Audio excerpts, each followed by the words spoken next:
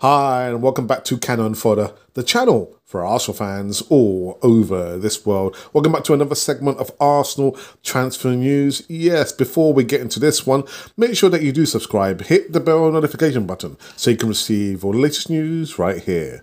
Now, um, Arsenal, yeah, Arsenal user, 34 million pound star could leave as training concerns emerge amid claims Edu may accept the sale. Hi,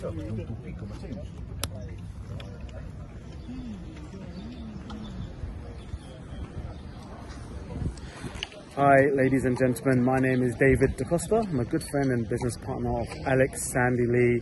Now, I'm really excited to share this with you. I'm currently here in the beautiful Fairmont Monte Carlo, and this is absolute paradise. But what we're involved in, myself and Alex, is a home-based travel business that enables people to save and earn money on the travel they're booking anyway. So if you have any family travel plans this year or even next year, if you have a desire to make some extra income outside of your job, even if you just want to save some money on a trip, earn some money on a trip, get in touch with Alex straight away. Don't book anything this year until you speak to Alex because the business we have enables people to earn 70% of the commissions on the travel they're booking anyway.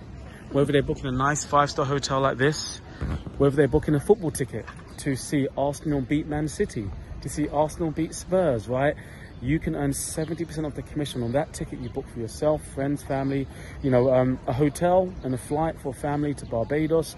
If the commission was a thousand pounds, you would earn 70% of the commission. So 700 pounds into your pocket for that holiday to Barbados the family were going to book anyway flights, hotels, cruises, rental cars, villas, airport parking, speedy boarding, lounge access, anything to do with travel, entertainment, and leisure has a commission attached to it. And we also get paid weekly and monthly for helping other people to save on the travels that they are doing anyway.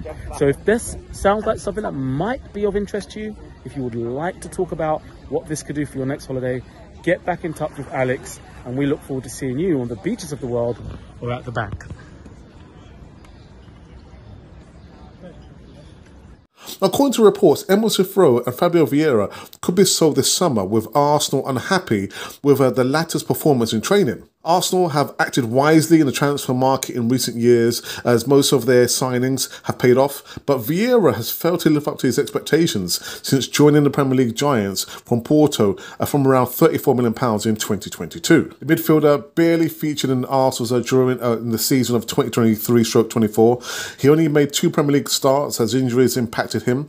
The 23-year-old is under contract until 2027 and has uh, time to prove himself at the Emirates. But according to another platform, he could be sold this summer.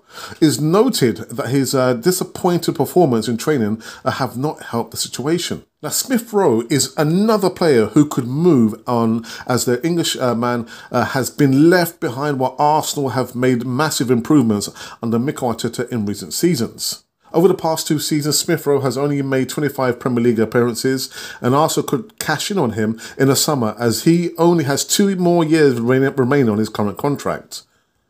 Smith Rowe will turn 24 in July. All parties are aware uh, he is at this point in his career where he needs to play more football uh, than he has been doing so. This has been Cannon Fodder, the channel for Arsenal fans all over this world.